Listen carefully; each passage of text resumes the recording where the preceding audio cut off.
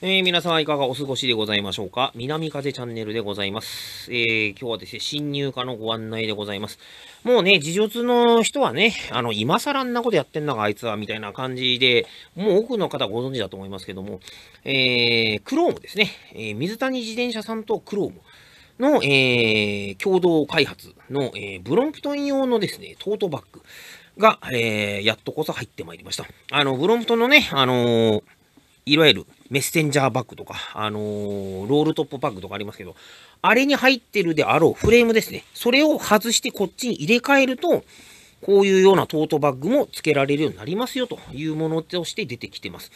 で、やっぱいろんな方のね、あの、話を聞くとすごい評判がいいので、もうしみじみこう見てみようと思って見てみましたら、あのー、本当に評判に、なんか噂にたがわずよくできてんなというふうに思います。あの、トートバッグっていうと、なんていうんですかね、こう、くたっとした風になりやすいんですけど、フレーム入ってないのにちゃんとバシッと立つぐらい、しっかりした生地でできているということですね。で、あとそのデジチェーンって言われてるね、こう、なんか紐引っ掛ける、なんかいろいろ引っ掛けられるようなものをブーンとこう、回されてるんですけども、ここにね、あの、いわゆるフィードバックだったりとか、あの、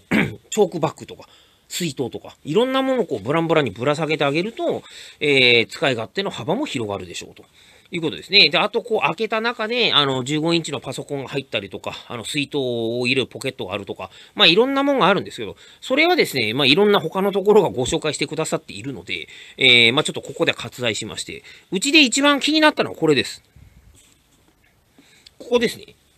いわゆるそのメッセンジャーバッグなんかでよく使われる、あのー、まあ、型にかけた時にね、あの、お腹の方にこう、この紐を回してきて、バチッとこう止めて、あの、ぐらぐらしないようにしましょうというものですよね。で、一般的にはタスキ掛けですよね。タスキ掛けにした状態で紐を止めて、えー、ぐらぐらしないようにしましょうという風になってるんですけども、これはそうじゃなくて、こっちですね。例えば、あの、この状態だと左肩です。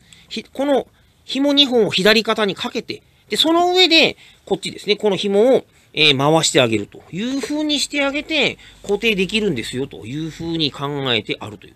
あなかなかやってくれたよなという感じですね。これは、僕もいろいろカバン見てきましたけれども、トートバッグでこの紐をつけるっていうのは、